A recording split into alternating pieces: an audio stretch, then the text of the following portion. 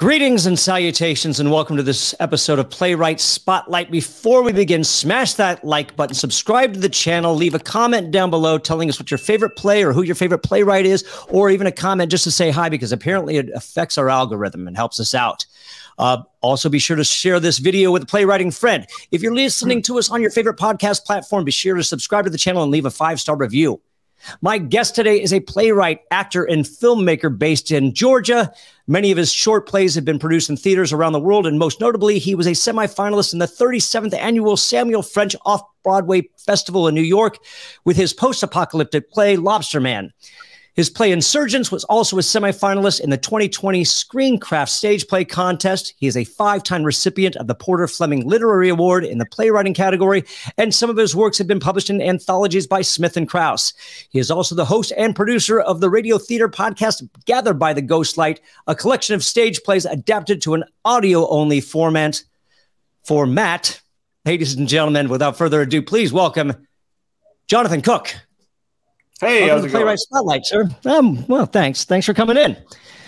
Um, this is our first time meeting. We've had a little bit of exchanges on on Facebook Messenger.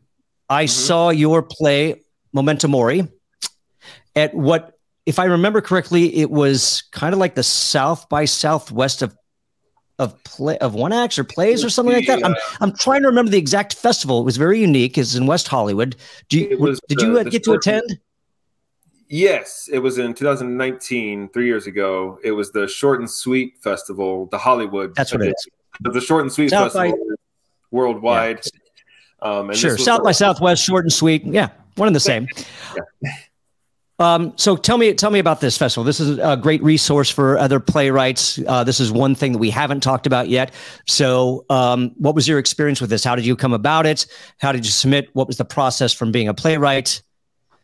The Short and Sweet Festival. Um, it's pretty cool because they're they're kind of spread out across the world. So if you're uh, so you submit your play, and then what they do is they send it out to all of the different festivals they're connected with. The Short and Sweet Festival in like Dubai, Australia, um, India, um, and Hollywood, which is where uh, Memento Mori was. Um, I think Memento Mori was probably the third time I submitted to Short and Sweet. They had originally done uh, my play Transferring Kyle, which that one wasn't done. I don't think they were doing Hollywood at the time, but that one was done in the Australia edition and India and I think the Philippines. Um, and then after that, the next year I submitted a play called "Don't Call Me Cupid," which again that kind of made it made its rounds in the Short and Sweet Festival. And then the third time I did Memento Mori, and that made its rounds in the Hollywood version, which uh, I think that's the only USA based festival they have. So that was the only one that I've been able to see, just because international travel just gets kind of expensive. so. Sure.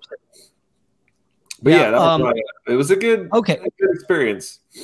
So you're not limited, like from a playwriting perspective, you're not limited to, oh, you have to be regional. You, you know, you don't have to, you can submit to Australia or Dubai. And if you can't make it, you can't make it. But, you know, if you've got a, a good enough piece that you can be, you're in. Yeah. I mean, I'll submit anywhere in the world that's willing to produce plays. Uh, I mean, it's awesome to go get to see your play performed. Um, but I've even had I've had plenty of USA productions that I haven't been able to attend just because of scheduling and again cost of travel. Sure. Yeah, it just it adds up. Well, you just mentioned that you'll submit any time, any to anytime, anywhere to anything. Um, can you expand on that? Can you can what what are your criteria? Is there anything that you like you look for specifically that you're like mm, no or like you know uh, is it um, is there a return you look for? What specifics can you you know what what do you, how do you judge your submissions? I've submitted plenty of plays at theaters that you know if it gets accepted it gets performed but you don't exactly get paid. You know your reward is you know your play is getting performed. And i don't I, I don't mind doing that at the level of playwriting that i'm at. I don't you know i'm not super professional published all over the place or anything so i don't mind getting my short works out there like that. Um, but it's always great when theaters do accept it and they do give you a little stipend. Um, I guess uh, one thing I do kind of, I'm not gonna say I stay away from it, but if a play festival has, you know, submission fees involved, Um, I'll always research the festival. Um, if it's a super high price, I won't even worry about it. If it's if they're charging a fee, but they're in this really small town where I don't think many people at all will see it, I'll, I'll kind of gauge it and see if it's worth you know paying the fee. Um, but then there's been some, you know, the Short and Sweet Festival. They have a small fee. It's not much. I think it's about ten bucks, but they like I said, their festivals are all over the world, and you know, there's potential for a lot of people to see your work. So I don't know. I just kind of take it case by case basis on that kind of thing. What constitutes a high fee for to in your mind? Uh, usually anything more than around ten bucks or so, and okay. even with that, you know, I I would hope that if you did get accepted, that they would be reimbursing you in some way, whether it be uh, monetary or or some type of award or something. I'm not sure. You, I'm gonna I'm gonna kind of be, because of your other um, interests, for lack of a better word, I'm gonna inquire to you about this. So um, this doesn't necessarily apply to playwriting, but it does kind of um, it cor- it corresponds. Uh, that's not probably the best word, but so from a playwriting perspective, I've heard a lot of things. Ah, oh, you know, I'm not going to submit if I have to pay a fee because it's you know writing on the, the backs of playwrights. But at the same time, you look at a film festival where you're looking at maybe I don't know I don't submit screenplays to film festivals yet, so I have no mm-hmm. experience in this. You might have the experience in this, so some of those may charge 25 35 dollars so where does that line get drawn but you know between oh i'll submit my screenplay for $35 to be read at a film festival where it's not going to be performed but you're being charged a submission fee for your play to hopefully be performed so you're getting something out of it you're getting like maybe what, how one week run two week run four week run how can you speak to that? What and and I don't mean to you know, kind of like th- throw something at you off off the cuff, yeah. but this is just yeah. a different entity that we haven't really got to discuss on the playwrights uh, spotlight. So I'm just curious what your what your thoughts yeah. are. Uh, interesting enough, um, you know, I've written screenplays, but like you, I don't submit screenplays to like screenwriting competitions usually. Okay. Um, sure. I did do the stagecraft one um, because that what they wanted with that was a they wanted a, they were actually looking for that was a stage play um, competition and what they were doing is reading the stage play and see what the potential was to adapt it into a film oh uh, interesting that, that's how they were judging it when they were you know marking their semifinalists and finalists and all that um, which that was an interesting process. And uh, yeah, that, that did have a, a, fee involved, but with every step of the way, I got feedback on it. And with it being that was one of my first full length plays that I ever wrote. Like uh, historically, I've always been writing short plays, and so when I got my first full length play written, I did get some actors together and we read it, and I adjusted it from there. And then I saw this competition come up, and I was like, you know what? Let me just let me just see what these so-called professionals might, you know, come back with it as far as it being adapted to a film. Um, but it's funny you say that because I did um, a couple of weeks ago. I made a short film. Um, and earlier this week, earlier this week, I was submitting out to film festivals, and when and the fees are you know just adding up, and it was like, man, I don't do this for my plays. Why am I doing it for the, for this film? Um, and I and with films, I guess, and I've talked to playwrights, and there's a lot of them. They're just adamant. They're like, I will never pay fees to submit my play anywhere. I just won't do it. And then I I brought up I was like, you know, but with films, you know, there there aren't film festivals out there that will accept that will take the time to watch your stuff without you paying them paying a fee. Um, and so I, I kind of look at it like that when I'm submitting my plays as well because I've done a lot of short films. I've submitted them out. I know how that process works. So when I'm doing submitting out plays, like I said, I take it on a case by case. Same thing with films. I'll take it on a case by case basis. If I see uh, a film submission thing posted on like Film Freeway. I always research the festival. I'll look at their sure. Facebook, see how many followers they have. I'll look at their website, see how well made it is, and I'll just kind of look at how many years they've been running.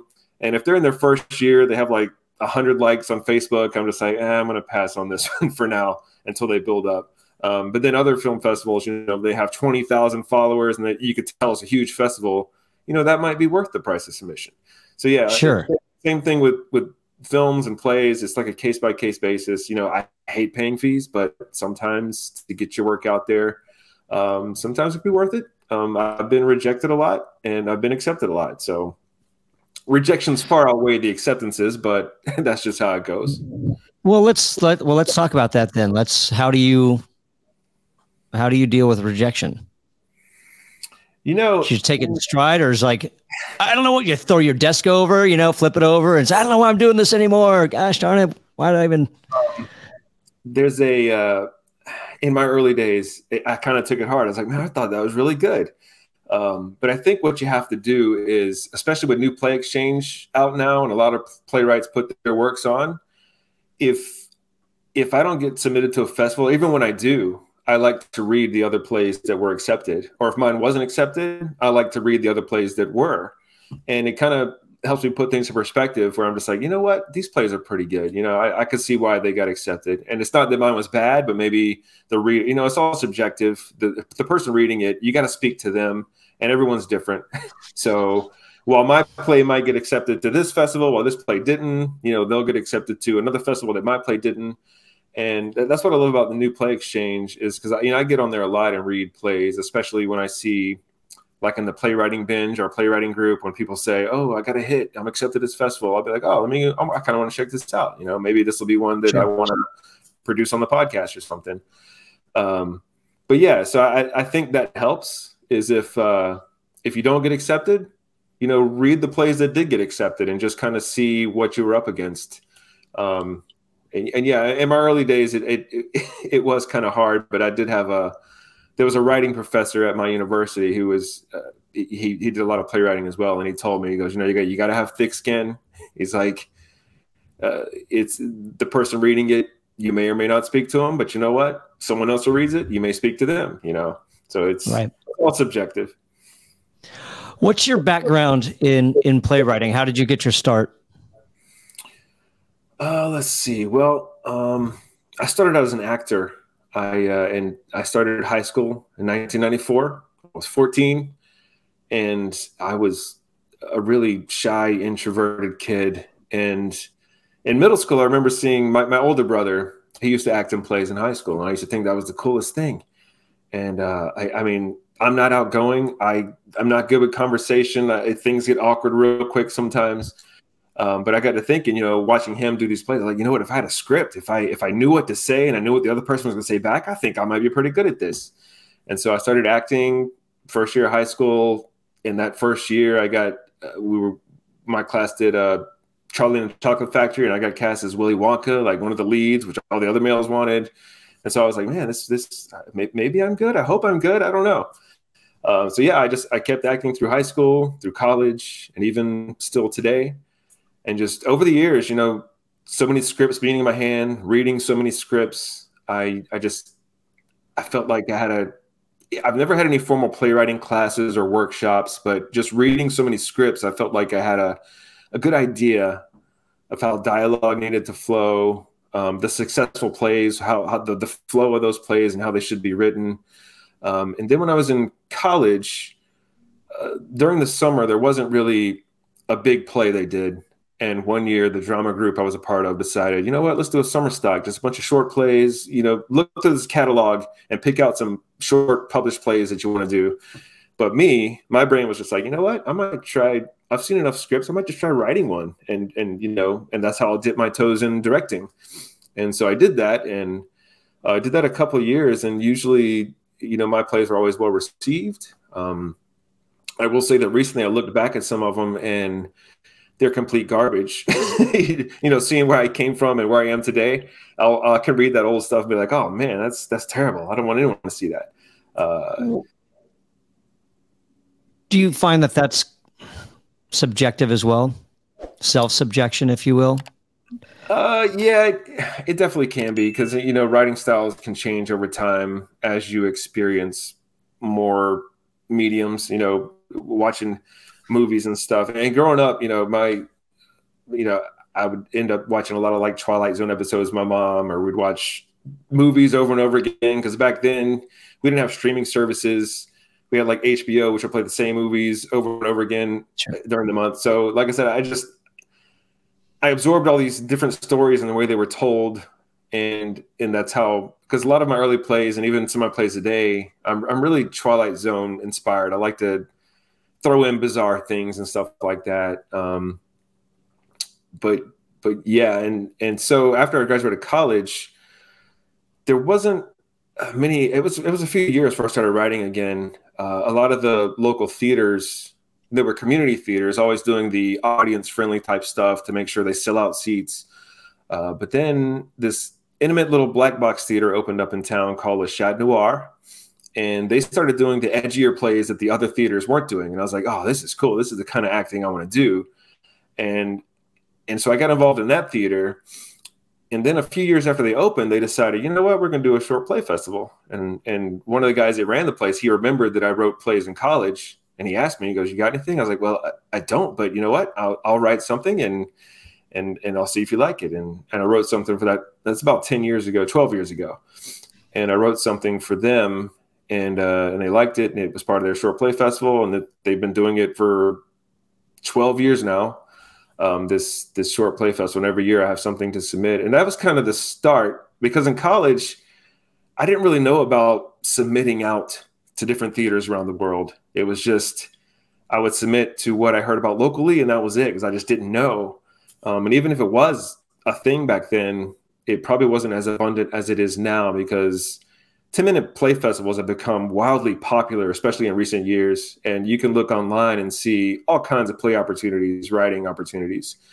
Um, so, yeah, it was about 10 years ago that when I started writing for Le Chat Noir, their annual play festival, that I realized that there's a world beyond just local productions. And that's when I started submitting out. And when I got my first theater that wanted to produce one of my works, you know, they never met me. It wasn't like they were doing me a favor. They weren't a friend. Um, that's what I was worried about the local productions because it's like, are you just doing this because you know me? You know, you because because we're cool like that. Uh, but when you have someone who doesn't know you, never met you, and they're just basing if they want to produce your work based on what they read, that's a really cool feeling. And then you know, once I got that first production, uh, the first one I ever had in another city was in Pittsburgh, and then uh, I just started submitting it out, and I started writing more plays, and just over time, I just had a bunch of my short plays were getting produced in all these different cities just around the world, and I try to see as many of them as I can, but obviously, that doesn't always work out. Sure. Where do you? There's so many things I want to I want to touch on in that, that last um, those last statements. So mm-hmm. first off, where where did you start looking for submissions? Where do you look for submissions now to send your work in? Where, where's your go to? Uh, well, let's see. There's a couple of websites. Um, there's a emailing group called the Playwriting Binge, which a fellow playwright told me about a few years back that I joined. So they'll post opportunities. Just they'll email out to everyone and say, "Hey, here's an op. You know, if you live in this state or if you have this kind of play, they're looking for this." And and you, they'll use have a website there and everything. Um, and then there's also, I believe it's called nycplaywrights.org They'll they'll okay. usually have daily opportunities. Um, and then I think the Playwrights Writing Center, I think is what it's called. Um, yeah, and just just random places online, really that that I come okay. across. Yeah. Okay, and then um, you, I want to I want to kind of for somebody who has no formal training, I want to I want to know how you kind of taught yourself? Because it's I'm fascinated because I go back and forth on whether or not there's a necessary academic approach to this. I'm not saying that it's not helpful. I'm just wondering if it's necessary to study and and and how much you can again it's nothing against whatever bachelor programs that are out there or MFAs. I'm just mm. I just I'm trying to dissect what constitutes a playwright and and and how how you can traverse the pathway, if you will. So we're like I can appreciate the whole Twilight Zone thing. I'm a huge fan myself. So, but I mean, what were the obstacles that you faced? How did you, what, what, where did you, where were, what were the mistakes? How did you achieve them? How did you recognize them? And then how did you learn as you went? Well, um, like I said, one of the things that helped me the most was just being involved in theater and getting into acting at an early age and and reading scripts regularly. Um, I would say one of the things that that I guess took me a while to learn was to establish the proper conflict in scenes. Because uh, when I first started writing, I guess I, I don't want to say I was getting lucky, but just the way I was writing, there was always conflict there that made things interesting. And I remember there was a play that I wrote uh, probably around 2016, 17. And it was mainly three girls. Uh, they were waiting. There was, there was an asteroid coming down on the planet, and it was it was the end of the world, and they were just kind of waiting for it to happen. But the whole play is them just kind of reminiscing of old times. And there's not really the conflict is with nature, but it doesn't come until the very end. And it was basically a play of just talking heads and it i didn't realize that when i first wrote it but i remember i and strange enough uh, there was a theater that you know they did a performance of it all that and uh, we performed it locally and it was actually performed again after i revised it a little bit um, but one of the feedbacks i got a lot of theaters don't give you feedback but there was one i submitted to that did and they basically kind of mentioned that um, it, it didn't really they didn't feel the conflict. It was just people talking. And which sure. I, read, I read back through it, I was like, yeah, that's kind of what it is. And you don't really get the conflict till the end when everything comes crashing down. Um, Literally. Yes, yes. Uh, so yeah, so after I got that, you know, thinking about it, I I, I revised it and I kind of made ongoing things happening throughout the play. And since I did that, it's been produced uh, even more. Um, and then I had another play, which I got another learning experience. Uh, one of the it was actually performed in Washington D.C. with the Source Festival. It was one of the first performances of it, and with that festival, they actually reviewed it in a newspaper, and you know everyone kind of read the review. And one of the things they said it was good, but one of the things that they mentioned was one of the characters basically just about every line he said was a question and I was, and it felt like that was his only purpose for being there was just to ask questions to move the story along. And so when I read that, I was like, huh. And I read back through the script. I was like, you know what? He's kind of right. It's like, I wonder if that's a thing. And sure enough, you know, looking online at different writing samples, they kind of say that, you know, every character should have a purpose, not just to be there to ask questions to move things along. So again, that was another play that I went back through and revised it a little bit um, based on that feedback. And again, that's another one that's gotten more productions. That one's actually getting performed in October in Connecticut. So it's still, it's still having a good run, even though it had that one little flaw that someone pointed out that I I feel like I kind of corrected it once I got that feedback. Uh, but yeah, it's been a learning process as I go. Um, like I said, I never had any writing, creative writing classes or workshops or anything like that. Everything I've learned is just from reading scripts myself, or uh, you know, sometimes I, I, have looked at you know different articles on online of you know writing good screenplays and, and scripts like that. Sure. Just my own personal, you know, research I would say has helped me.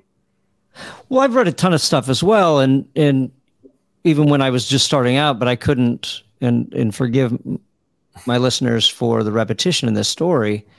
Um, I didn't know what I was looking for, so I didn't recognize what made something good.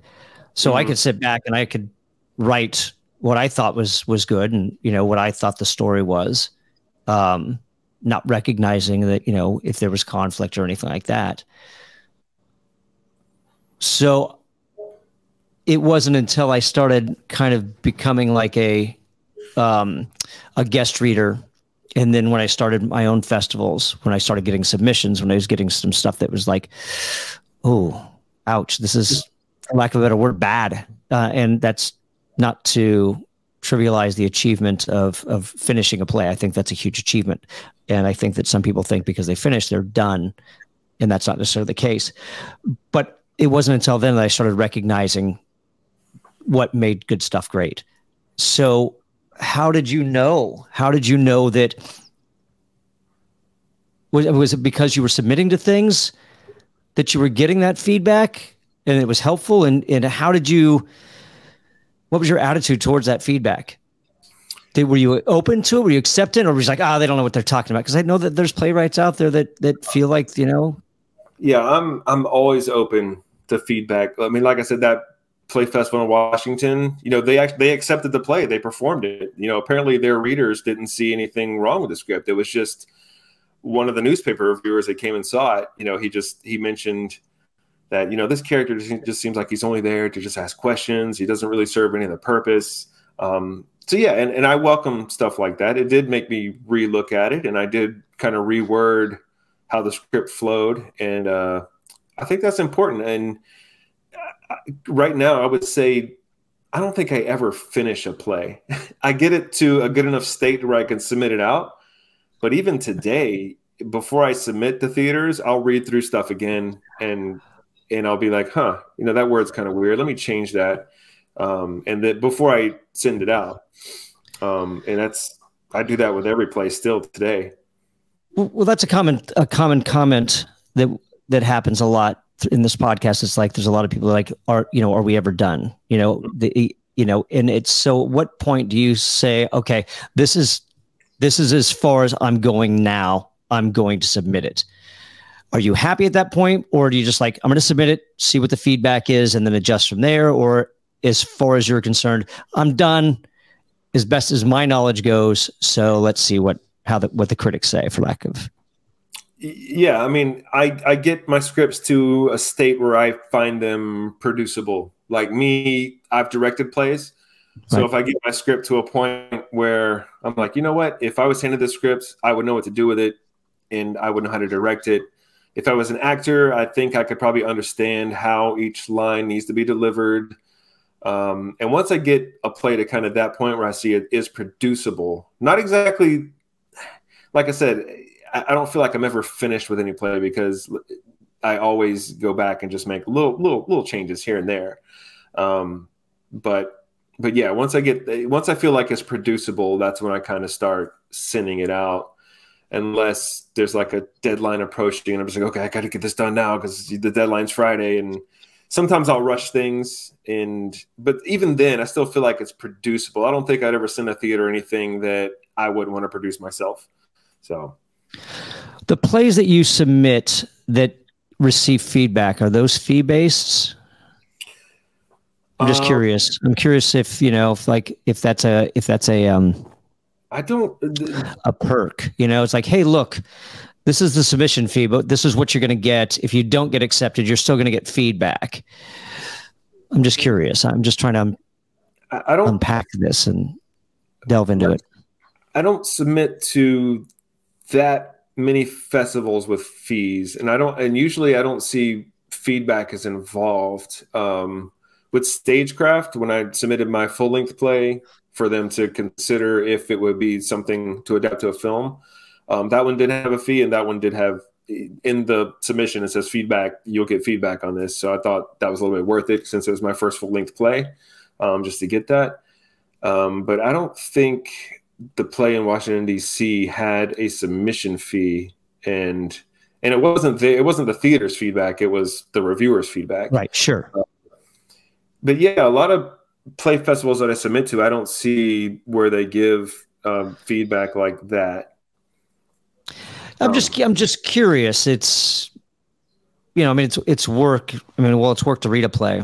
It's work to you know to write up feedback. I'm just curious if that if that's a if that's a beneficial perk. You know, if I know you're pay for something. Um, the Pittsburgh New Works Festival, they're one. They have a submission fee, and they do give you feedback by, I think, two or three different judges read it, and they send you all their remarks. Oh, so I have submitted. I have submitted to that one a couple of times, and that one was actually the first time I had a play produced in another city. It was in 2009, and it was uh, it was produced by them, and they gave me the feedback and all that, as well as putting it on. And then I've submitted in years after that, and I've had one other acceptance. But even when it's not accepted, and it's rejected, you still get the feedback from the judges with, with that festival. Well, no, I would hope so. I mean, if you're if you know if you're going to do a, a, submission fee, I think that you know I think that should maybe be included. You know, even if it's post post production once they've you know closed whatever whatever plays they chose to be produced. Um, you let, let's let's I'm going to fast forward a little bit. We might go back to some other things in this, but I do want to talk about the Smith and Kraus aspects. I don't think that anybody that I've talked to in past episodes has has been published by this group. So, what what was that process? How, did you submit to them? Did they find your work? What were the requirements? What were that was um they did do a it I was in the best 10 minute plays of 2015 and then also the best 10 minute plays of 2017 I believe. And basically they had a submission call that was like if you had a new play produced in 2015 at any theater, you know, give send us. I think you had to either send them, you had to send them the details. Maybe you had to send them a picture of the program where your play was listed, or a website. I think it was where it showed that you your players produced, and you send it to them for consideration to be in their you know best 10 minute plays of 2015, 2016, whatever year it was and I the two times I submitted them was 2015 and 17, and they're they're mainly looking for new plays that premiered that year. Um, so, is this the same group that's done? There used to be Applause. Um, I think uh, we've all got them. Any any any actors got a copy? As I turn my back to the camera, I apologize, everybody. Um, not that those people that are listening can't can see. Um, oh God, where is it? Because I think we've all got like the best short plays of 2015, 2016, or the two that I have is 1992 to 1993. Um, is that the same? Is that the same one? Is that the same group? Concept. It's a similar concept. I know the person that used to um, choose and edit that book was uh, Larry Harbison. Um, okay. And then he left, and someone else does it now. Uh, a lady named okay. Debbie. Um, but yeah, it's still a it's still a thing every year. If I guess if you go to the Smith and Kraus website, they if you've had a new play produced that year, they'll take submissions. Is this are we talking about the same thing, or are we uh, talking uh, totally different? Something. It's it's different. Okay, I mean, good. Just make it clear. It's a similar okay. concept, similar concept, but it's a different uh different publisher and all that. Fair enough. With this, I don't need to put this down. Um, so what so they choose your play, and you've been you've been accepted into this how many times? Um, twice. Twice. Okay. And um, do you get proceeds? You get um, they they send you a copy of the book, and then I believe you, when I I don't know what they do nowadays with the new editor, but I know when I submitted, they also send you like a flat fee. You don't get like ongoing royalties for each book sold, but they're like, here, we'll give you this much to publish your book uh, to publish your play in our book, which it has like 50 other plays in it. Um, sure. So yeah, but yeah, and they also it's, it's cool to get a copy of the book because you you know you see your words in there, and it's it's it's always fun right. to have a hard copy of of your material. Now, they do they do the standard um, print at before your play. It's like, hey, you know, this is a subject to royalties if you want to produce this play, and this is who you contact. And then, do you have your own information in there? They do. They put your contact information in there, and they let readers know. You know, if you if you like this play, if you want to produce it, then contact this email address. Or uh, yeah, I think it was just an email address. I don't think they put a right. phone number or mailing address in there. Right. And so you have your email, or do you have representation that handles that for you? For me, I use my own email because I don't okay. have representation. Okay, fair enough. And do you, how do you negotiate your fees when when you get contacted if you've gotten contacted. I'm only assuming I, the stuff that i've i've seen of yours i really enjoy so i'm assuming that your phone's ringing off the hook. Um with them it was just every playwright got the same thing. It wasn't there was no sure. negotiation. Um right but i mean if somebody contacts jonathan cook and they say hey i really like this play we want to put it up for a two week run or we want to stage it at you know for a, a, weekend of one acts at this college how do you go about that well, when that's happened, it's always been for my short plays. And okay. Uh, I basically, if it's for a college, I don't mind just saying, hey, if your students are doing it, it's fine, it's free. Um, but I do kind of start. out. I know it's it's bad to say this, but uh, colleges and high schools they have education money to spend. You know, they they have money no. allocated to spend. One. And so they've got a they've got a good budget. let's yeah, not, let's not so, pretend. And so I I will start off like you know this ten minute play you know, usually like, you know, $10 per production, you know, let's say a dollar a minute, something like that. Well, and then I'll throw in at the end, you know, whatever fits your budget. Um, sure. And if they come back and they're like, oh, you know, we're just, you know, it's our students, it's gonna be a free event, you know, then I, I'll, I'll get back to them like, you know what, it, it's cool. You can, you guys can do it. Um, but okay. yeah, I do kind of start off just, just to have something, you know, and just say, you know, it's ten dollars a play for a ten minute play. That's cool with me. So when you come up with, so when you start a play, mm-hmm. where I don't want to say where do you start. You know, obviously the beginning is a great place to start, but do you start with a premise? Do you what's your process i suppose what it all comes down to where do you start and then where do you go from there what are the next steps that follow once you have an idea Oh man, that's um I would say for me, I don't know how everyone else does it, but every play is kind of different. Um, sure. Memento Mori, for example, the one that you saw, that came about just because I had come across I had come across articles about postmortem photography, and I thought that was just kind of let's go ahead and, let's go ahead and talk about it. Let's go ahead and let's go ahead and tell people what it is. It's a, a phenomenal play. I really really enjoyed this, and it's there's some.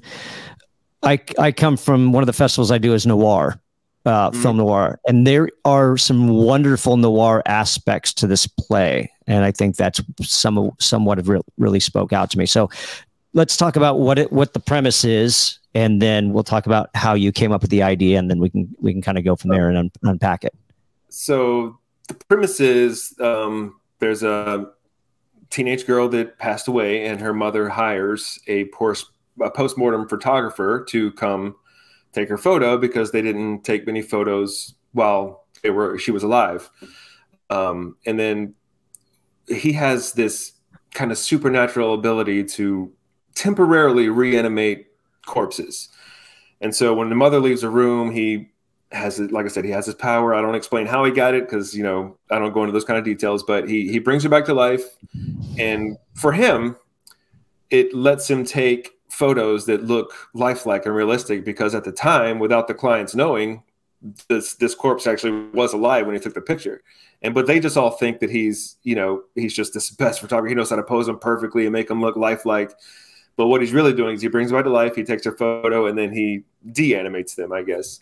Um but this takes place when? This one this happens in like the 1800s when this was actually a thing. And uh and but when he brings this teenage girl, this particular teenage girl, to life, um, she kind of tells him how she died and that her father had something to do with it, which no one else knows. You know, she passed away. They think she just fell down the stairs, and and when she reveals, no, why, why do you keep saying I fell? He's like, I, she's like, I didn't fall. You know, I, my my father pushed me down the stairs, and so all this stuff just kind of starts unraveling and he doesn't know what to do. He he can't tell the mom because how would he know? Because she doesn't know that he has this power to bring this girl back to life, and he could be accused of witchcraft and all that if anyone found out. He just so he just he tries to figure out a way to let the mom know without actually telling her, and that's what the ending is about. As he's the little girl tells her about this um, diary she had that was underneath some floorboards in her room, but her mom would never look there because she didn't know about it. So as the photographer's leaving, he's like, you know, I used to have a friend that lived in this exact house, and I remember in his room there was this. And so as he's leaving, he just mentions that, and so, and he he mentions that you know there might be something still in there that you know maybe he had left behind when he lived here, and so that's the parting words he leaves her with. And so you just got to assume that the mother did go up there and kind of look in there, and then she finds her daughter's diary where she mentions her father was um, abusive and and all that, which she never knew about. Uh, so that, that's kind of the whole premise of the play.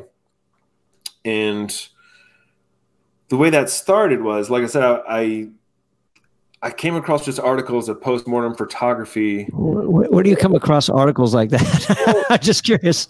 Scrolling Facebook, Instagram, it just I, and I, I really don't even remember how how it popped up in like my feed or wherever. But and I was like, oh, let me let me check this out. And I was just looking at all these different photographs, and I just thought it was the coolest thing because back then it wasn't it wasn't a morbid thing. It was just something regularly done. That it was a, kind of like a, a celebration, a way to capture their loved ones since they didn't have cameras and stuff regularly while the person was alive. So they wanted at least one one photograph before the corpse gets buried or whatever.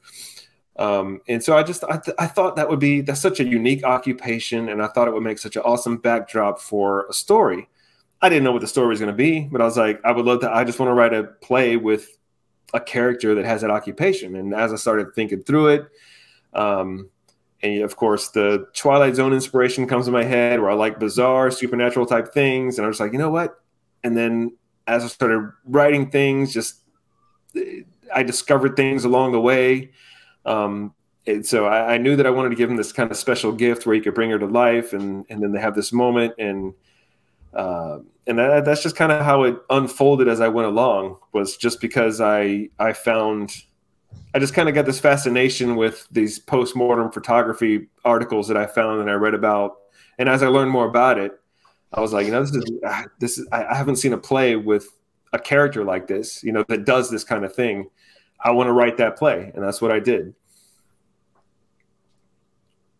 You mentioned that you don't really talk about it. In your mind, do you know how he does it, but you don't. I know you don't touch about out on the plane. Not that you have to. I'm just curious if in your mind you know how he does it, but you don't really go into it.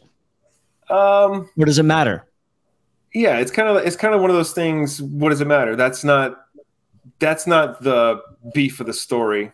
Sure. Like, and even in the play, he even says it himself. He's when she's asking, you know, what what happened? How's how am I doing this? What would I do? And he's he mentions, you know, I don't know how it works, but it works, and that's that's basically the only explanation you get about how he's able to do it. It's just something he learned he was able to do.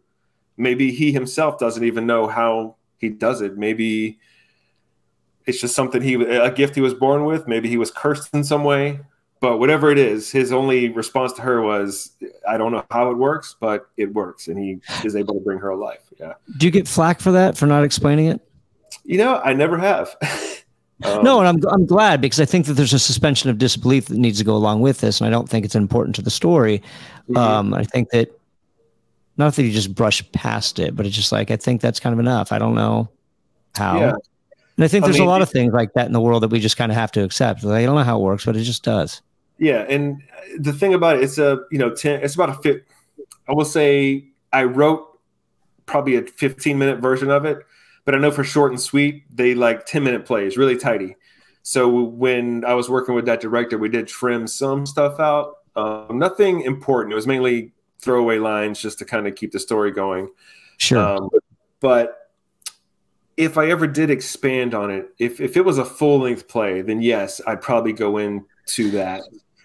But with it being just a 10 minute play, we're just capturing a snapshot of this interaction it didn't feel important. The important thing was learning about this girl's past and how she died. But sure. like I said, if I ever expand on the story, if I ever do make it, I don't know, a short film or even a, a full length play, that is something that I would dive into because for a full length play, people sitting through a whole play, I think you'd have to give them a little something. Right. How he got this. But a 10 minute play, sure. I was fine with not explaining too much when you went through and you had to cut it down to make it a, a, more tight 10 minute did you find that that made it better or do you think that it lost a few things? Um i would charm say, or character or insight you, how did it affect it? Did it make it better or did it kind of like other things you kind of missed? I would say it, it I, know, I know i called them I hate to call them throwaway lines because they're not. It's all a part of character building. Um, so I think that it did lose a little bit of the character building with the different interactions, um, but there was enough still in there that the story still worked. People still understood it and liked it, and they, uh, you know, they were along for the ride, just like the actors were.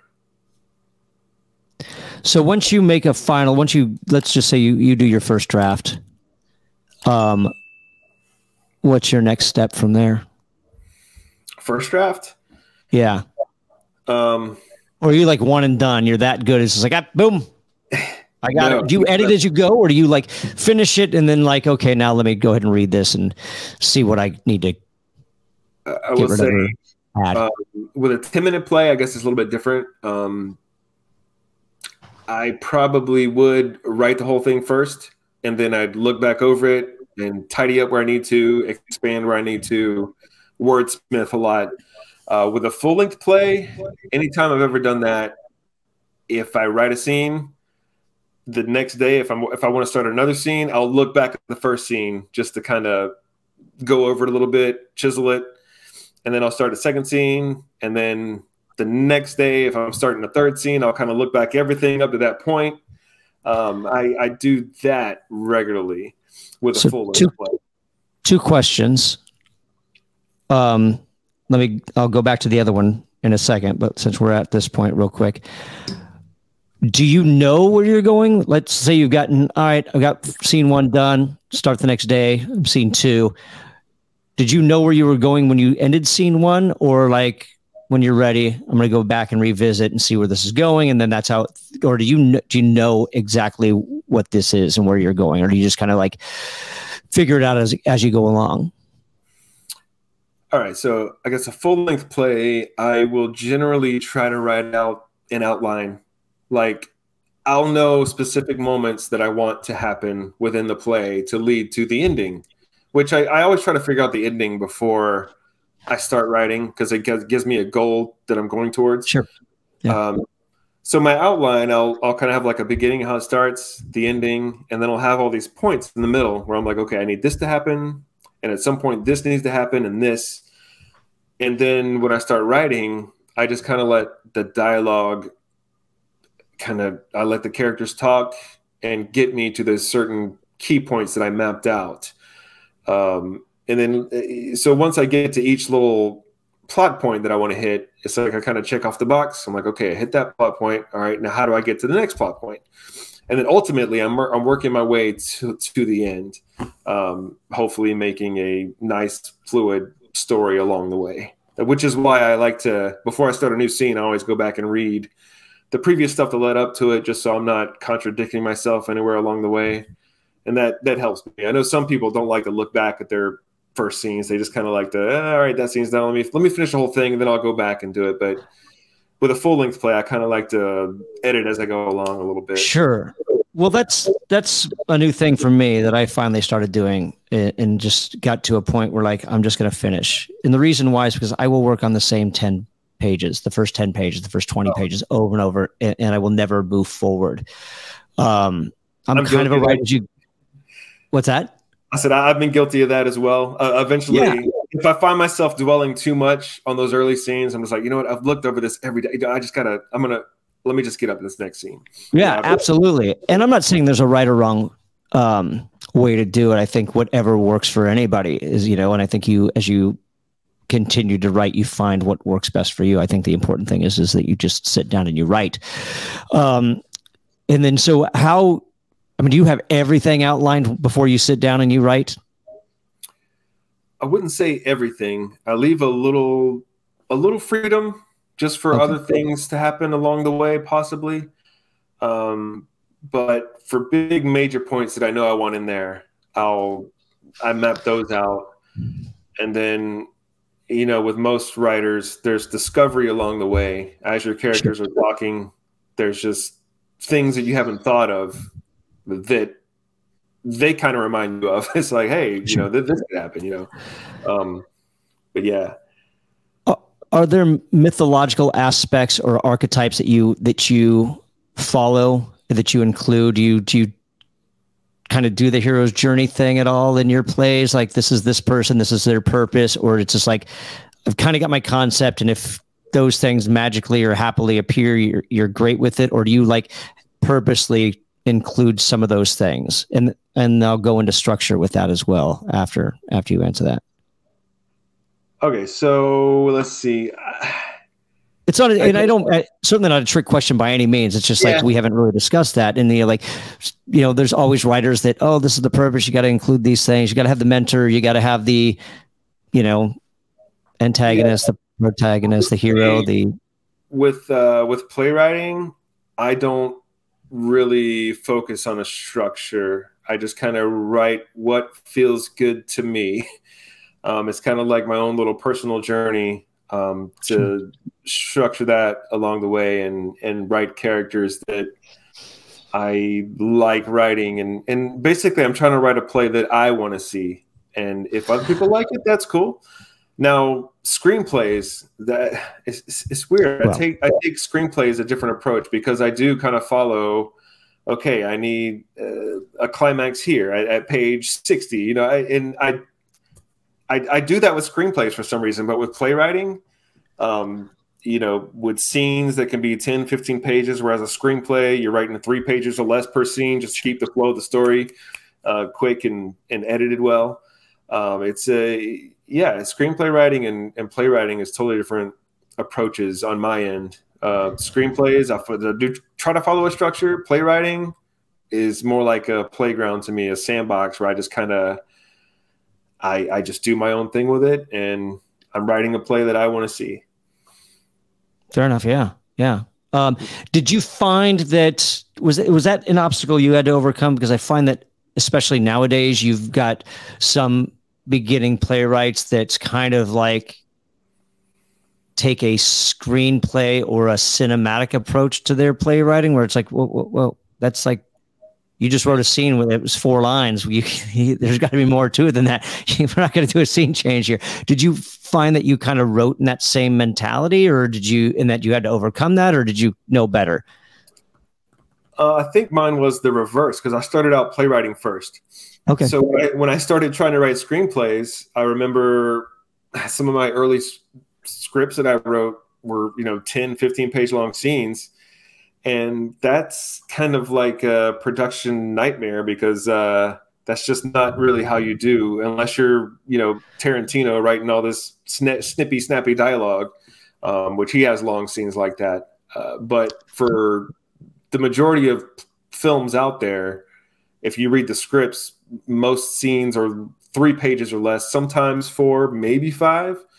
Uh, and and again, just like with reading play scripts all the time. I started reading a lot of screenplays and just seeing how those were done. And yeah, it's a, it's a totally different monster. You know, it's a totally sure. different approach for screenplays and playwriting. Did reading those screenplays that did that help with your playwriting at all, or do you think that it just kind of not necessarily interfered, but um, with I wouldn't say it helped playwriting. I guess you know, film is more of a visual medium, whereas I mean, plays is a, of course, you're on stage, but it's I think sure. plays tend to be more dialogue driven, um, whereas a screenplay you want to make sure the visual is there um, along with dialogue. Uh, but I, I, wouldn't say it really affected how I write plays. Um, I kind of like the 10, 15 page, 20 page scenes. I like doing that but then, you know, when I switch over to screenplay writing, it is kind of a relief to be like, oh, oh, three pages. Okay, I'm done with that scene. Cool.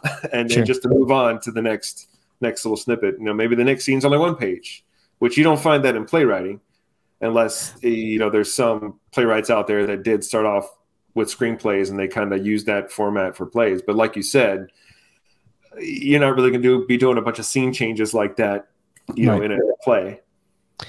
Is there a playwright that kind of inspired you or that you learned a lot from that you that you kind of um aspire to be that's not the right word um oh i mean this this kind of changes over time but i'm really uh, who are you most influenced by how's that I really like uh, John Pollono, which he's also a screenwriter. Um, he did Small Engine Repair and uh, Rules of Seconds, which we performed here in Augusta. We, we performed small engine repair as well. Um, but uh, he kind of his his play Rules of Seconds is a little since he writes screenplays too. It is a little cinematic. He does have kind of quick scene changes in that. Um, but yeah, I'd probably out of like today, he's probably the one that I um, I don't know that I, I read the most of. And uh, oh, what's his name? Lieutenant of Inishmore. Who's the person? The the the Irish playwright McDonagh. Yeah, that's him. I In like his Bruges work. and uh, and the uh, three billboards. Is that what it is? Yes, yes, yes, yes, Yeah. yes. Uh, That's exactly yeah, what I was thinking of as well when you right before you had mentioned him. Yeah. Yeah, he's uh, excellent. I, I love his plays. I love his movies. You know, I love uh, his work as well. Um, he's another one that I, you know, any any play of his that I read, I just know I'm going to love it. Um, and yeah, it's just it, it changes over time. I'm sure in a few months it might be someone else. So. So for somebody who's starting off, who's like, I want to, I want to write plays. I don't know how to go about it. I don't know if I, I can't afford college. What is, what's Jonathan Cook's advice in that regard? Let's see. Um, I I'd say What do you recommend? the, one of the best things to do is if you want to write, it might be nice to actually get on stage and act in a play, even if you have a super small role. Um, you kind of get a feel for how plays are performed, um, rather than just going to you know see a play. You'd actually go through the rehearsal process and see how all that happens, um, and then again, just read a lot of scripts, um, kind of like like what I did over the years, and you know, kind of find you can find your own voice. It's, you don't have to mimic other playwrights, uh, but you can kind of take inspiration, and then along the way you find your own voice, and then eventually the scripts you write will, in a way, have your DNA in them. You know, you, people will be able to read it and be like, "Oh, that you know, that's a."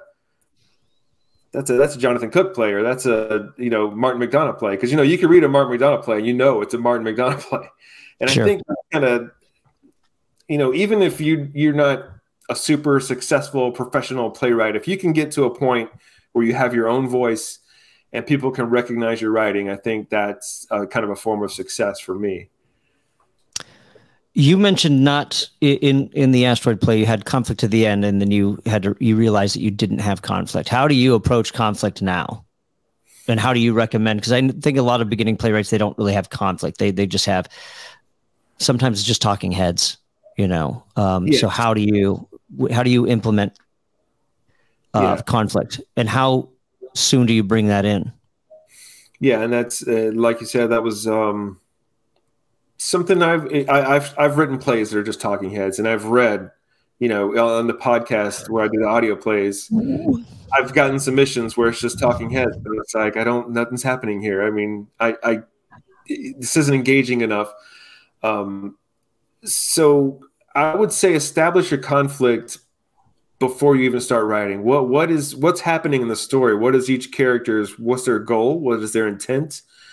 Um, because a play that's just talking heads, whether you're trying to make I don't know, a, a political statement or social statement. That doesn't always, while your intent may be meaningful, it doesn't always come across well as a play. It just sounds like you're putting your own personal opinion out there. So it's kind of nice to have conflict built in if you do want to make a statement like that in a play. Sure. And I'm I, I'm not saying well when I this statement is not to say that conflict isn't necessary, but I I also want to reiterate that sometimes a play that's more relationship driven is still acceptable. I'm not saying that you know, and I'm sure there's conflict within there.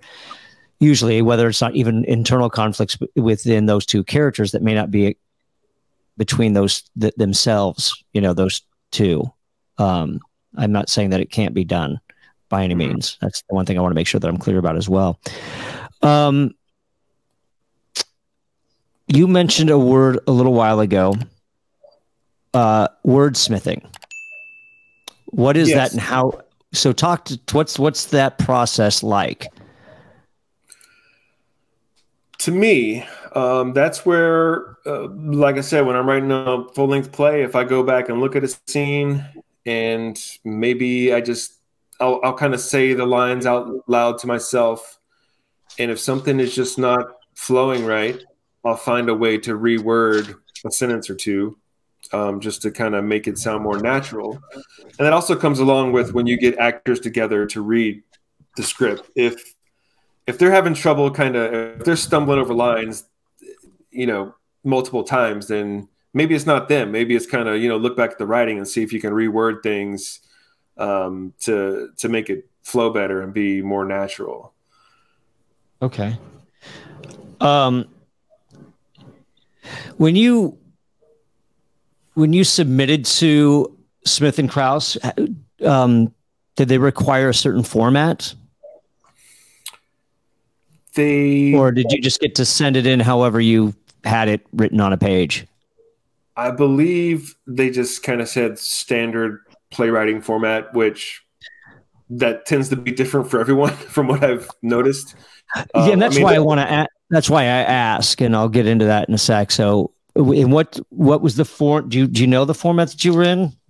Uh, you know, I my, my format kind of changes every sure. now and then. Um, yeah, you know, I, I don't really. It, it just you, you put the character's name above the dialogue, and uh, and you have the stage directions on the right side and all that. Um, okay, yeah, and that's that's why I asked because, and again, sorry for previous episodes where this has come up. I'm fascinated by this, so that's why I wanted to ask because that's never how they're printed. No, it's not. and it drives me nuts. Why are you requiring it like this if this isn't how it's printed? Because if I'm reading a play, this is how I think it's supposed to be formatted. Yeah. You're, you're selling me a false bill of goods. Gosh darn it. You're pissing me off. So that's why I'm curious um, what format. Do you, is that how you is that what you write in normally or do you reformat when you submit it because it's like oh now I got to do it or you just save yourself the time and I'm going to reform I'm going to I, am going to format it the right way now. And then on that note, is there a program that you use or do you kind of do it manually? I do it manually. And I just, since. So you, you know, do you write in Word then? I do. So like 12 okay. years ago when I first started writing plays and when I started submitting, I saw most theaters asking for this standard playwriting format. I was like, well, what is that? So I looked into it and like I said, you can look at several different websites and they'll show you several different things, but most of them are kind of similar. So I just kind of tried to stick to one basic thing. It's readable. It's similar to all, what all the standard playwriting formats that I found, and uh, and that's kind of what I've been going with. But no, I totally get that. You know, you read a printed script or a published script, and it's totally different than what the standard playwriting format is. So yeah, I don't understand that either. But yeah, in Word. Yeah, I just set all the margins and I just kind of line everything up myself. Fair enough. Yeah, I reached out to Dramatist Play Services, but they don't want to have a talk with me because they're probably shaking in their boots. Not really, but I'd like to think that they. Uh, I'll have to give them a call back and call them out on it. Um, all right, fair enough. So you do it. You do it because I know there's some plate plate people. Some people use Celtx, Celtics, I think it's called. And then you know, I mean, I I'm primarily screenwriter for the most part, um, give or take a few plays, and I use Final Draft because I bought it a long time ago and it's got it's got the format. So um, mm. You know, so it's it's easy enough. So let's talk about Gather by the Ghostlight. How long has this been going on? This is this is your this is your podcast. You you developed this. I did. Uh, it's I started it. Well, the first episode launched in 2020, and I guess the way it came about uh, you know, because uh, like I said, I have a, a, filmmaking background, and when I first started writing short plays and they were getting produced, I'm, uh, in my head I was just like, oh man, I could just like I could make a bunch of short films out of these plays and just kind of have my own little series. That'd be awesome. Sure. And then I just realized that was a whole lot more cumbersome than than yeah. I thought it was. Because I was like this young, not realizing how much help and how many people would have to be involved every time I wanted to do that. Um, so I did. I, I think it was around 2014, I did adapt one of my short plays to a 30 minute short film. And it turned out great. It was in a couple of festivals and everything. And then after I did that, I was like, there's no way I could do that as a regular thing. Just with my schedule, my full time work, I was like, this isn't a full time job for me. So I wouldn't well, be able to money make, as well. Yeah, I wouldn't be able to make time to make this a regular thing. Sure. So fast forward few years later, um, I got to thinking, you know, but I could probably make them into audio plays maybe. So around 2019, it was actually after Memento Mori went up. That was the first play that I recorded when after I wrote it, and uh, we premiered it here in my hometown. and I got that original cast, and I just had them talking to some mics and um, recorded them in 2019. Then a few months later, I was like, okay, I got this other play. I'll get the cast from that, and and so I just started kind of vaulting all these little audio recordings I had. And then in 2020, when you know pandemic happened, I I wasn't sure what I wanted to do with all these recordings, and I was like, you know what? I mean, maybe I could just start this podcast idea and just release audio plays on there that I already recorded. Um, so I released the first episode in March of 2020, shortly after pandemic started. I was like, if people can't go to the theater, I will bring the theater to them. That was my mm-hmm. way of. Um, so and I edited it all together, and everyone everyone liked it. It got a good positive response. But then listening back to those old recordings, I was like, man, this could be so much better. Um, I, what can I do to make these better? and uh, and so I ended up I scrapped all the stuff I already recorded, and there's a local studio guy which it was expensive, but I went in and started recording audio plays with him, and um, like once a month I was putting out a new a new play on the podcast of my own, something that I wrote, and uh, and they were just sounding great. We are getting a lot of positive feedback. Momentum was building, and then I started thinking about. eventually I'm gonna I'm gonna run out of stuff. I only have so many short plays, uh, and I've met just from going to play festivals to see my own works over the years. I met playwrights over the years. I've seen their plays, and I knew of some good ones that that would work great as an audio play. And I reached out to some of the playwrights, and I was like, "Hey, you know, I'm, I do this thing. Is it cool if I record your play?" And um, some are a little hesitant at first, but then when they go and listen to it, like, "Oh man, you do great work." You know, yeah, go ahead and do it. Um, so yeah, then I started producing other playwrights, and every now and then I'd mix in one of my own, and I still do that today. Um, and yeah, it's it's been great because I've met a lot of playwrights that I'd never met before. But like I said, with New Play Exchange, I just go and I'll, I'll read plays. I'll if I see that a play has won an award in a festival, I'll make sure to go read it, and because um, that way I don't have to do my own open submission call because I'm just one guy. I can't read a ton of scripts. I don't really have the time for it. Um, so it's kind of like uh, some of the plays that I find they've already been vetted by other festivals, other theaters, and if they won multiple awards, it kind of works out. Um, and then on my own, if if I have time, I will just kind of look for different in new play exchange, look for different different themes.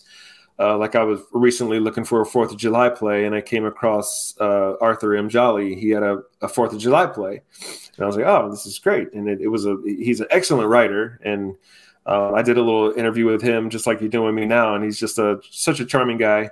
Um, yeah, well, he he did a uh, episode twelve, I think, with us. Yeah. Mm-hmm. So, um, so continue. Sorry. Yeah, it's cool. Um, and uh, and so yeah, that's and it's still going. And back in July, uh, local the Augusta Arts Council in Augusta, Georgia, they were um, they were taking grant submissions, and I was like, you know what? I'm doing something creative. People like it. Uh, it's since when I started it, it's built up so much. I get a ton of listens every month, and I, I kind of submitted to them to see if I can get a grant to actually start paying these writers and these voice actors that are coming in, just kind of doing me favors, you know, because being in the acting community, I know a lot of actors, sure. and uh, and so anytime I need someone, I'm like, hey, you want to come record this? And they're always just happy. They're like, oh yeah, thanks for asking me. I'll come do it. Um, so yeah, so now I'm at a point where I got this grant from the Augusta Arts Council, and I'm able to actually pay my writers now, pay my voice actors, and it just and none of it goes to me. I just I when I submitted for the grant, I was like, I just want this money. Here's how it's gonna be allocated. I'm paying the actors this much, the writers this much. I'm gonna do at least two episodes a month. Will you give me that much money for at least a year? And they were like, uh, okay, here you go. And I was like, oh, okay, great. now, did you have to establish a 501c3 for that, a nonprofit, or, or they just kind of just like, oh, you're arts based, and so go to town? This was a specific grant for individuals.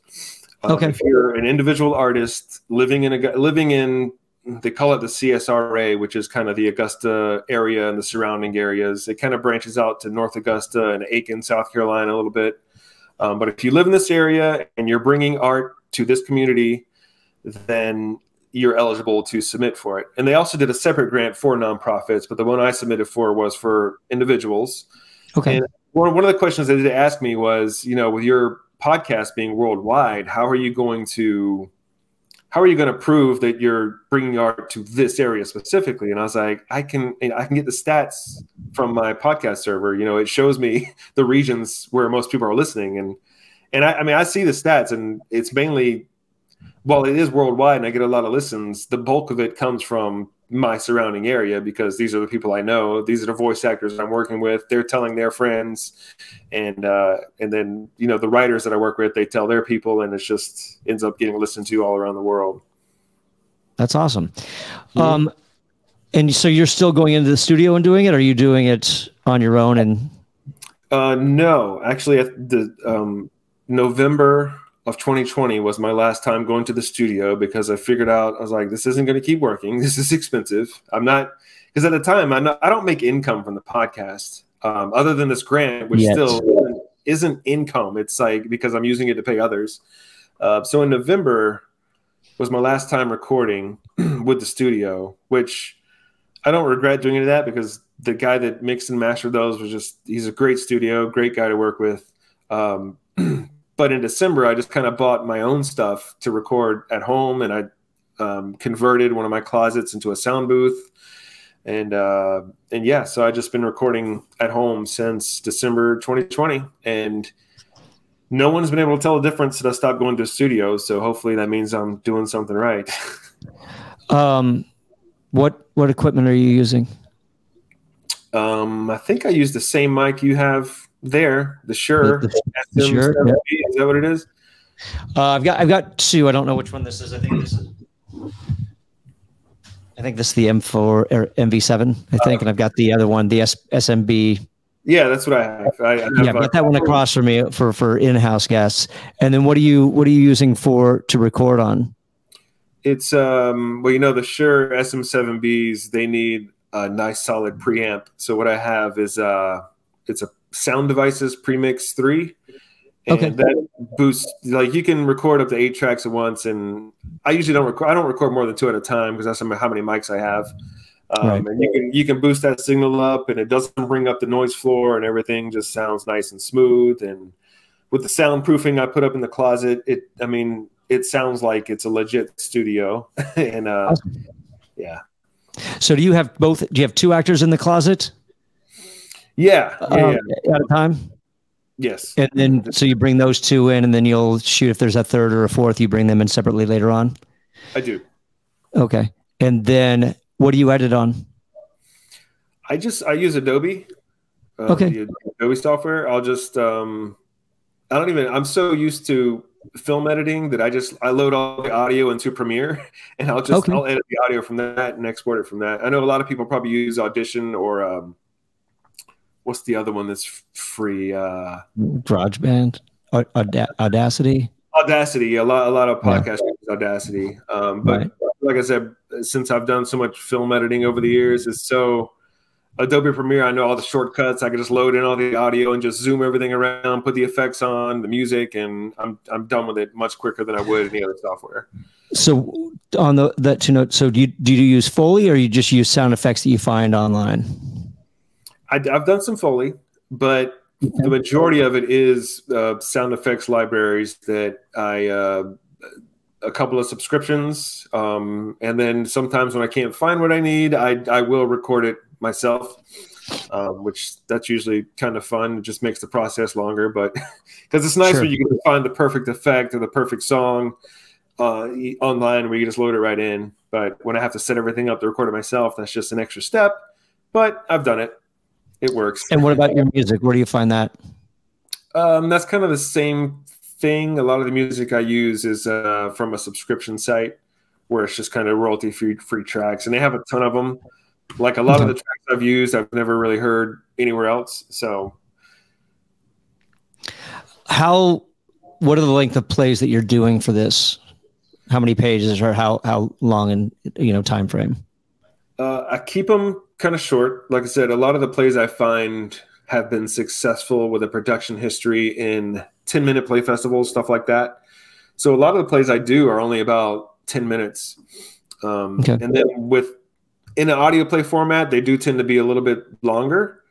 um, just because I put on the effects and the music to start and stop it. Um, and then after each episode, I try to get the the writer on to have a short talk about the play that the audience just heard. So in, in all, each episode that I release is probably about 30 minutes or so, 30, 35 minutes, because they hear the short play and then they hear the short interview. So right. it's, it's, kind of, it's kind of something that someone can listen to on their drive to work or drive just around town, quick, quick little commute. What's your turnaround? How fast does it take you to, to record, edit, upload? Um, if I have nothing else going on, I could do it. If only within like 24, 48 hours. Uh, during Christmas week, um, I, me and my family, we had gotten COVID in late November and early December. So I had uh, I had scheduled some recording time during that, but I was like, oh crap, no one can come, over, can come over right now. So after we got better, I waited another week and a half, two weeks before I brought anyone over to record, and then uh, and then once I did that, I was like, holy crap, I haven't released anything at all in December, and I like to do Christmas plays for December or holiday themed plays. And so on one day, I recorded. I had actors coming in like all day long. I recorded three plays, and then Christmas week, I put out three episodes that week just because I just got on and edited them really quick. That you know, pretty much uh, that same day that I was recording, um, which that was a that was a pretty busy week. But I was off work that week, and it was able I was able to just kind of focus on that and get it done. Do you are you in house only, or do you have are you record remotely as well? There is one actress that I have recorded remotely twice, um, and she I met her a few years back. She's in Tampa, Florida. She directed a play that the Carrollwood Players Theater was producing one of my short plays, and she was the director. And we got to know each other just through emails and stuff, talking about that play. And that was in 2017 no 2016 and so when i started doing this it turns out uh, she's also a voice actress. She does like commercials and stuff and ads. And so i i she had asked about doing something remotely with me and i was like well i mean you can uh, send me a track and I'll see if it kind of blends in with what I record here because you might be using different equipment. I just want to make sure it's kind of balanced, right? Sure. I'm not. I'm not 100. I'm not opposed to it but let's right. uh, let's do a test. And so she did that, and it was it was close enough. And so, um, so yeah, she's been on two episodes, and I'll probably have her on some more. She's got a she's one of those actresses with a good natural instinct for how to deliver lines. She's with the voice actors I bring in. We usually do a couple of takes of each page. Um, right. Some of them, I always let the actors kind of do because we don't really have a rehearsal. They just come over, they've read the script, they're familiar with it. And then instinctually, I kind of see what they do before I start giving them notes. I'm like, here's the script, let's start recording. Right. And that was one of my next questions was like, how do you, like, let's say, like, maybe you got a three person scene and you got the two people that, that are there in house that may interact with each other. And so it's kind of natural they can feed off of each other. But then you've got the third actor that's coming in, coming in later. So do you run into obstacles where it's like, oh boy, that delivery does not match the the setup of that of that line? Do you do you have that issue, or is it just kind of a happy accident? Everything kind of seems to flow, and people have natural instincts with the with the actors and talent that you bring in. It's it's mostly happy accidents. I mean, I've uh, man, I've I've been doing so much theater around town that the actors I choose, it's like I just I trust them. I've I've been with them on stage acting across from them many times, and um, and and yeah, and usually when I do have a three person play, when I record the first two, usually the third one is kind of you know waiting to go in, so he'll kind of hear how they've done it. Okay. Um, okay. Even though he's not in there delivering lines with them in the moment, um, they'll he or she will hear uh, the sure. way it's done. And I'll also when I get them in there, I'll kind of remember how the other guys did it, and then when they get in there, I'll be like, um, you know, try try doing it. You know, maybe you're a little bit more annoyed, or maybe you're a little a little more upset, or something like that. Um, but yeah, so when when I first record them, we take it a page or two at a time, usually two pages at a time, and I just kind of let them do their thing, and then after we do one take, if they need a note, I might be like, okay, you know, try it this way. Try saying, you know, put an accent on this word instead of this word, and just just to change up the feel of it. And that just gives me options with editing. A lot of times, I'll go back and use what their first take was, but just to have an option, I kind of get them to say things different ways. Sure. Um, and that that helps out a lot. A lot of times, the first take is usually the keeper, but I'm like, eh, let's let's do one more for safety. Uh, just like you do with film. It's like, okay, exactly. that great, but uh, I just want one more just in case there's something I'm missing here. Sure. Yeah. Absolutely. So, um, make sure we've covered all the bases on on this podcast outside of the the final question, which is where can people listen to this? Well, you can get on any podcast player, and if you search for "Gathered by the Ghostlight," um, it should pop right up. Or at www.gatheredbytheghostlight.com. That's kind of the main page where you can listen to everything there as well. But that involves going to a website where a lot of people that listen to podcasts, they just, you know, get on their podcast player like Spotify or sure. Apple and can just look it up that way. So what platform do you use to upload then on that note? My podcast server is Podbean. Okay. How do you like it? I like it. Um, you know, they do have a, a, small annual fee, but the stats that they provide, um, which I, at first I was hesitant because I'm like, ah, it's.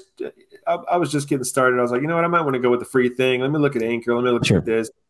Um, but then just uh, talking with other friends that have tried the podcast thing, they're like, yeah, but you know, if you try this service, you know, because if you ever do bring in ads or if you ever do this or that, it'll already be all set up for you and you could just and so I started doing that and I really liked the experience because like I said, I love seeing the stats. I love see where to see where people are listening from.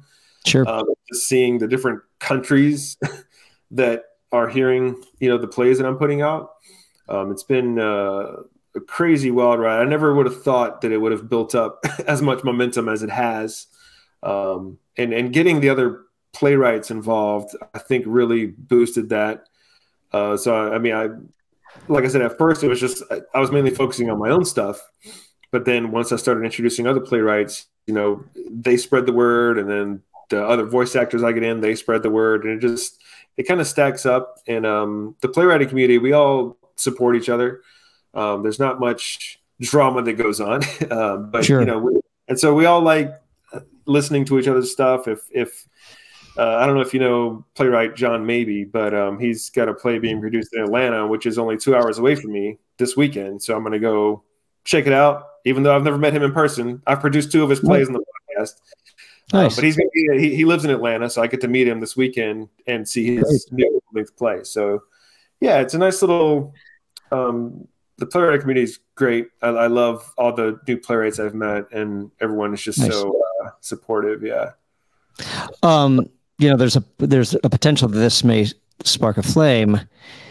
Um, are you opposed for to people for uh, to people submitting their work to you for this, or, or are you just not open to that right now? Because I don't. I'm not. I'm not opposed. Actually, okay. right. uh, earlier this year, only in the emailing group, the playwriting binge that I'm a part of, I did put out a submission call just for this emailing group. Um, and I received a, a, good bit, and I read every single one of them. Um, From beginning to end, no matter how good or bad. No matter how good or bad, I, I glad to hear that. I took the time to read each good. one. Um, but like you said, I mean, some are definitely way better than others. Um, sure. And some of them are great on the page, but then when you think about it being an audio play, it just it's there's something when I read a play, it's like I have to actually be able to hear it. And sure. the plays that have room for sound effects and room for music and action, those are the ones that I tend to produce more. Just because they so, work better as audio plays. So that was one of the other questions, and thank you for for kind of touching on that because now I have to ask: do You don't you don't add any? You're doing a play as if all the lights were off on stage. So you're not, there's no narration. There, you're only adding sound effects if somebody like maybe is walking across the stage. Maybe somebody picks up a glass, clankety clank clank. Maybe somebody sips. You know, you're adding stuff like that. but there's no narration that helps guide any particular action to kind of move the story forward. No, this is uh, whatever the playwright wrote on the page. I try to preserve that. Now, okay. with every play that I've gotten so far, there's usually at least one or two visual cues that I tell them. I was like, "We got to clean this up." Like, if a character's just like, "Oh, would you hand me that?" or "Hey, what's that?" or you sure. have to explain what they're talking about. So, right. instead of "Hand me that," it's got to be "Hand me that umbrella," just so the audience knows what they're getting. Sure. You know? just just little things like that, cleaning up visual okay. cues. Um, but yeah, I will say science fiction and horror plays tend to be the best audio plays, just because those plays tend to just have a lot of sound effects involved and stuff. Um, and then there have been some plays that have just been mainly dialogue, not much, not much effects at all. But those plays, when I read them, the dialogue is engaging enough that I'm okay with not having to layer on a bunch of effects and make it this immersive atmosphere uh, because what the playwright wrote is worth listening to. Right. Okay. Um, are you working on anything in particular right now yourself as a playwright? Um, I do have uh, actually the play that got semifinalist in uh, Stagecraft the local theater Le Chat Noir is going to be, be performing it in uh, the premiere actually in November. Um, nice. It's a play with a. It has a military backdrop, and they're going to be opening night is going to be Veterans Day, so it's going to work out really nice. Nice. Um, and I'm also currently adapting one of my short plays to a full length, uh, and I'm still working on that. Um, probably about halfway through, so hopefully, which I'm really excited about that one more than anything else I've written. Nice. Um, since we did talk about the Screencraft uh, stage play um, contest, um, before we wrap this up and I ask you a final question, what is the Porter Fleming Literary Award? Obviously, they have a playwriting um, section, or yeah, that is a um, it's the Porter Fleming Literary Award is uh, it's, it's a contest for southeastern states. I believe it's Georgia, Alabama, South Carolina, North Carolina, Virginia, Florida. Just if you live in the Southeast, I forget the specific states it reaches out to, but it's basically a writing competition, and they have different categories. It could be short stories, poems, um, playwriting, and uh, several years I've submitted to the playwriting category, uh, and I've I've placed third quite a bunch. I've placed second once and then this year, I finally, after years of submitting, I finally got first place in that, which was congrats, exciting. yes, awesome. Um, what do they? What What's the um, What's the award for that? What do you What do you oh, get? Oh, um, first place was a thousand dollars, which oh. is so that that play made me more money than any other play so far. Would you rather have a thousand dollars or a four week production? Um, for a short play, I don't know. I think for a full length play, I'd probably take the productions, but sure. like a, a, short play, I'm because yeah, I don't know. I, I, I probably would uh would think on that. Sure. No, there's no. I don't think there's a right or wrong answer. Uh, just, again, go, going back to subjective. Um, where can people find your work? I'm on the New Play Exchange, uh, Jonathan Cook, and my website is jonathanrcook.com, which has pretty much everything I do uh, podcast info, playwriting, short film stuff. Um, yeah, that's pretty much the site of me where you can okay. pretty much see all my creative and they, endeavors. And they can contact you there as well if they wanted to submit one of those plays for. Uh, yeah, the, the for Gather by the Ghostlight, um, if you send a play to gather by the ghostlight at gmail.com, that's that's the best way to submit that. Yeah. Wonderful. All right. Uh, all of these things will be in the show notes just in case. So uh, we won't have to worry about making sure that Jonathan is spelled right or Cook or R for that matter. So, Jonathan, thank you for coming out of the Playwright Spotlight. It was a pleasure meeting with you and uh, chatting. And this is a very, very insightful and a, a lot of great information. I'm glad that you can come on. All right. Thank you, sir. Thanks for tuning into this episode of Playwright Spotlight. Again, smash that like button, subscribe to the channel, leave a comment down below. Who's your favorite playwright? Who's your inspiration? What's your favorite play? Also, just say hi and let us know that you've been listening. Also, share this uh, video with a friend who's a playwright or an actor or director who thinks they might uh, you might think could benefit from this. If you're listening to us on your favorite podcast platform, be sure to subscribe to the channel, leave a five star review. And in the meantime, and until we see each other again, keep writing.